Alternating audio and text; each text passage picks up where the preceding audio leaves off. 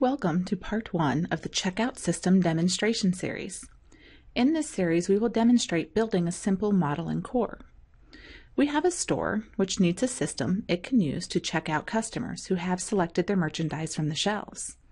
In this case, we'll begin our design as if there is no system in place. Before we start defining our system, we need to set up our workspace.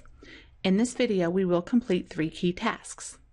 Launch core, create a new project, and save your data. First, launch core from your Start menu.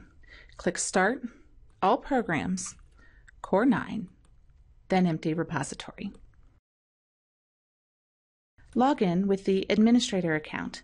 The password is admin, all lowercase. Now, we'll need to create a new project. Click New Project on the left side of the screen. Name your project Checkout System. For this demonstration, we'll select all other defaults and click OK. Finally, let's learn how to save your data. Click File, Save Repository As. Designate a location. I'll choose my desktop. Then designate a name. I'll name it Checkout System Demo. Finally, click Save. With your workspace set up, you are now ready to work along with us in the Checkout System demonstration. Go back to our screencast page to view part two of this series.